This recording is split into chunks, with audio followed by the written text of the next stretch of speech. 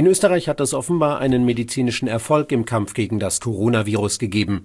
Wie verschiedene Medien berichten, wurde in Graz ein an Covid-19 erkrankter Mann aus der Steiermark erfolgreich mit Blutplasma behandelt, das von einem geheilten Corona-Patienten stammt. Es ist den Berichten zufolge das erste Mal, dass in Österreich jemand auf diese Weise von Covid-19 geheilt wird. Der Steirer wurde inzwischen von der Intensivstation in ein normales Krankenzimmer verlegt, heißt es. Die letzten Tests auf das Virus waren demnach alle negativ. Den Berichten zufolge kann der Mann wegen eines Immundefekts keine eigenen Antikörper bilden.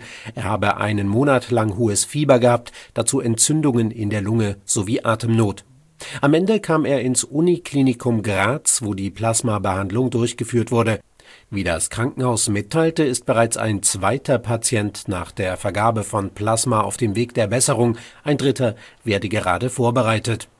Auch in Tirol und Salzburg gibt es Behandlungen mit dem Plasma von genesenen Corona-Patienten, bisher gibt es hier aber noch keine bekannten Erfolgsfälle Therapiemöglichkeiten mit rekonvaleszentem Plasma werden auch in anderen Ländern getestet